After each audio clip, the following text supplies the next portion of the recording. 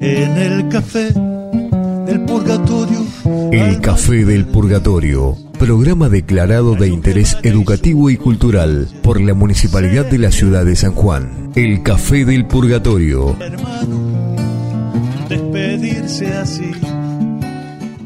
Ernest Hemingway, el que ven en la imagen, fue un gran escritor y sobre todo un gran periodista. Eh, cubrió como periodista la Guerra Civil Española, cubrió el desembarco en Normandía y cubrió la liberación en París.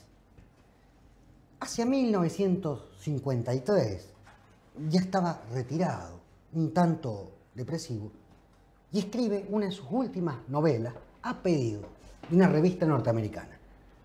La novela se llamaba El viejo y el mar, que básicamente se trata de un hombre, un viejo pescador fracasado, que intenta conseguir un gran pez como forma de reivindicar su vida.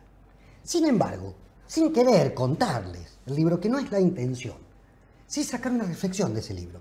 Dice que en un momento estaba allí en la viejísima Habana, pre-revolucionaria, pre-castrista, viendo el muelle y observa que estaban los barcos que paseaban a los visitantes y observaba que todos los paseantes, todos los turistas, los visitantes, soñaban con subirse al barco, tal vez, y encontrar una sirena. Tal vez, porque pensaban que así iban a encontrar el amor. Y todos estaban entusiasmados por subir. En cambio, los marineros y los prácticos del mar rogaban no encontrarse una sirena, porque sabían e intuían que si encontraban la sirena, encontraban la muerte.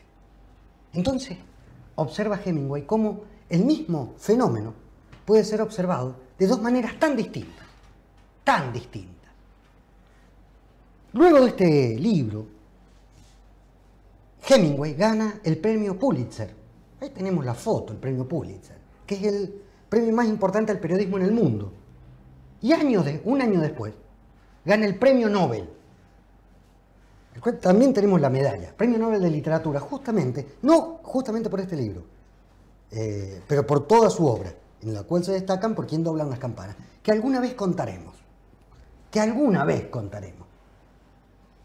Estamos iniciando una nueva temporada del Café del Purgatorio, subiéndonos a este barco. Tal, por ahí nos encontramos una sirena, sin saber que nos vamos a encontrar o el amor o la muerte. No lo sabemos. Y los invitamos a subirnos. Tampoco lo sabemos nosotros. Hemingway quería destacar esta diferencia de criterio y también ponía de relieve la idea del éxito y el fracaso. Sabe que a pesar de haber ganado el premio Pulitzer y el premio Nobel, diez años después, con esa escopeta que usted está viendo en la foto, un Hemingway ya viejo, se suicida se suicida, completamente loco, completamente paranoico, completamente borracho.